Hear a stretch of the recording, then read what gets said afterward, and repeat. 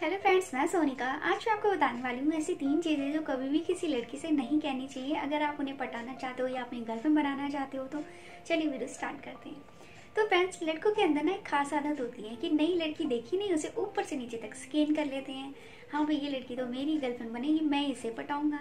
तो आज मैं आपको ऐसी तीन चीज़ें बताने वाली हूँ कि अगर आप किसी लड़की को पटाना चाहते हो तो इन चीज़ों, तीन चीज़ों का हमेशा ध्यान रखना चाहिए, क्योंकि अगर आप ये तीन चीज़ें किसी लड़की को कहते हो तो लड़की भाव खाने लगती है, आपसे पढ़ती नहीं, आपसे दूर जाने लगती है। तो चलिए वीडियो स्टार्ट करते हैं। तो फ्रेंड्स चैनल पर नए होना तो प्लीज़ चैनल को सब्सक्राइब और बेलाइकन ज़रूर दबा लीजिए, जिससे नई वीडियो का नोटिफिकेशन आपको मिल सके। तो आइए वीडियो स्टार्ट करते हैं।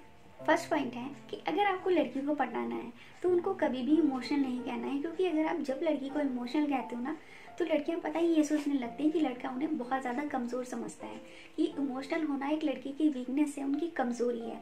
जो छोटी छोटी बातों पे रोने लगती हैं, रोने लगती हैं या फिर बहुत ज़्यादा ड्रामे करती हैं, जो नोटंकी करने वाली लड़कियाँ होती हैं ना, वो इमोशनल लड़कियाँ होती हैं। तो अगर आप लड़कियों को पटाना चाहते हो ना तो ये वर्ड कभी मत कहना, क्योंकि इससे लड़कियाँ आपसे दूर भागने लगी भाव खाने लगती हैं, आपको घास नहीं डालती हैं। तो इसलिए इससे अच्छा है कि आप इमोशनल की जगह ना, आप उन्हें सेंसिटिव कह सकते हो कि हाँ भाई तुम बहुत सेंसिटिव हो जो उन्हें सुनने में अच्छा भी लगेगा और इससे लड़कियाँ आपसे ब्रेकअप नहीं करेंगी, आपसे दूर नहीं जाएँगी और इससे बहुत ज़्यादा चांसेस होंगे कि आपसे वो इम्प्रेस भी हो जाएँगे आप इजीली उन्हें पटा सकते हो।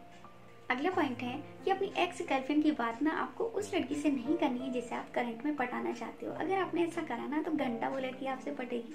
क्योंकि लड़कियों को ना कंपैरिजन कभी पसंद नहीं आता कि जब कोई लड़का उन्हें दूसरी लड़की से कंपेयर करे, खासकर वो लड़की जो उसकी एक्स गर्लफ्रेंड थी तो चीज़ का हमेशा ध्यान रखें, क्योंकि कुछ लड़के ऐसा करते हैं कि कभी भी लड़की से ना एक्स गर्लफ्रेंड की बात नहीं करनी है, क्योंकि लड़कियों को कंपैरिजन कभी पसंद नहीं आता कि जब आप लड़के से बात कर रहे हो तो कभी भी एक्स गर्लफ्रेंड की बात मत करो, उन्हें उस लड़की से कंपेयर मत करो कि हाँ भाई, मेरी एक्स गर्लफ्रेंड तो हॉट थी, सुंदर थी, कितनी तुम्हारे बराबर तो वो कुछ भी नहीं है तो अपनी हॉट गर्लफ्रेंड की बातें मत बताओ, अपनी एक्स की बातें मत बताओ, क्योंकि अगर आप उस लड़की को पढ़ाना चाहते हो तो उसकी बातें करो ना, क्योंकि उस लड़की को पटाना भी चाहते हैं और उसके सामने अपनी एक्स की तारीफ़ भी करते हैं कि वो लड़की बहुत हॉट थी, सुंदर थी, उसने जिससे मेरा ब्रेकअप हो गया तो इसका हमेशा ध्यान रखना है।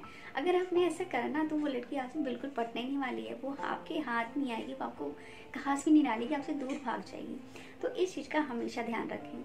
अगला पॉइंट है कि अगर आप लड़की को पटाना चाहते हो, उन्हें इम्प्रेस करना चाहते हो तो उसके लिए आप इस चीज़ का भी ध्यान रखना। कभी भी उस लड़की से ये मत कहना, उसकी बॉडी को लेकर कोई भी कमेंट मत करना, क्योंकि लड़की को ये पसंद नहीं है कि कोई उनकी बॉडी को लेकर कमेंट करे।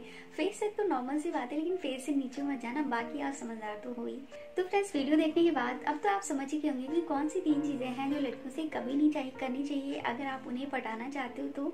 तो फ्रेंड्स वीडियो अच्छी लगी हो तो इस वीडियो को लाइक और शेयर ज़रूर कर दीजिए। चैनल पे नए हो तो प्लीज़ चैनल को सब्सक्राइब करना बिल्कुल ना भूलें।